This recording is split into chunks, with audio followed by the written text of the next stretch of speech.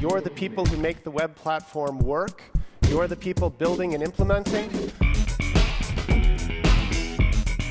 You might be repainting the entire page on every single scroll. You don't want to do that. Node.js is an amazing piece of technology that changed the way you even think about uh, writing your JavaScript. Fluent brings web technologies and JavaScript programming together to show people what they can do. I'm going to be talking about audio and the web platform, uh, particularly the Web Audio API.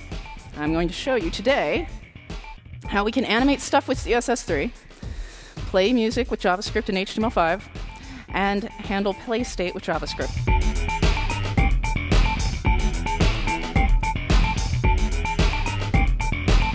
The way that we're doing things, the way that we're combining things, the way that we're stacking things on top of each other is, is evolving very rapidly.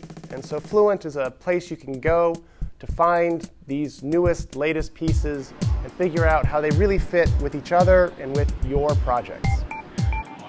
We're going to split this into three parts. We're going to talk about the network because that's uh, basically that's the foundation of our performance strategy. We need to, of course, deliver the actual web app. Then we're going to talk about this concept of critical rendering path. And then uh, last but not least is uh, in-app performance. And this is really crucial to building web applications.